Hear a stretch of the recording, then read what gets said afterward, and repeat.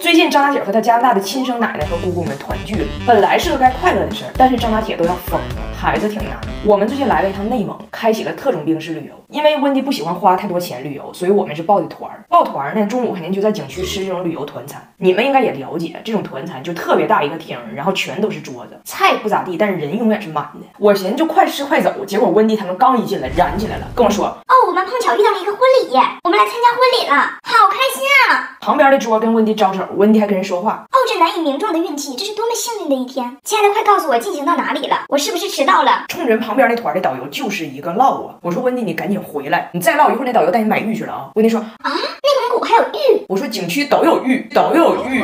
吃完饭坐缆车，拿铁被他的奶奶和姑姑们抢到了他们的缆车上。这一车就张拿铁不会说英语，无法交流，鸡兔同笼那种感觉，就好像一个书生和一群蛮子憋在了一起。然后下山缆车往下走的时候，远处地面上的工作人员就朝他们喊：“来抬杆，抬杆，抬杆！”温迪也听不懂，他喊啥呢？玛丽莎说，好像是说 tiger。问咱们山上有没有虎？你扣说，可能是咱后边那个缆车里有人叫抬杆。他回头朝后边的缆车喊：“，抬杆！”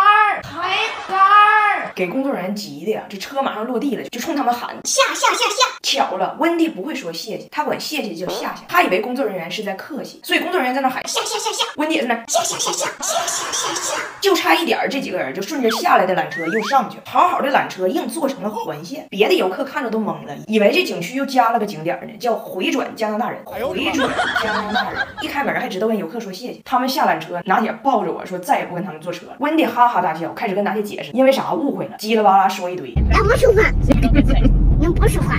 反正张大铁跟这几个人通血缘，但是不通语言，这个影响张大铁的沟通积极性，但是完全不影响他们。他们就是不管你听懂听不懂，就一直跟张大铁说话，一直说。大巴车、高铁上。So who are you inviting to your birthday party? 这么多年，我 So what do you think? Do you look funny then? 说这么多话，妈，你大哥。拿铁啊，这是来自加拿大的白噪音，别听了，和妈一起看会这个。这平板这么老大，你看它不那么累眼。然后 Wendy 他们不是学了一首歌叫《亚洲雄风》，你别看唱的都不准，但是被这歌洗脑了，就是一个唱，跟那个鹦鹉疯了似的，从北京唱到内蒙，给张大铁烦坏了。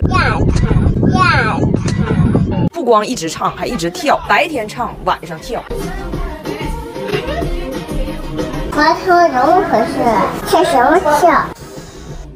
我告诉你，他们不光今天跳，还得跳十五天。机车不错，机车不错。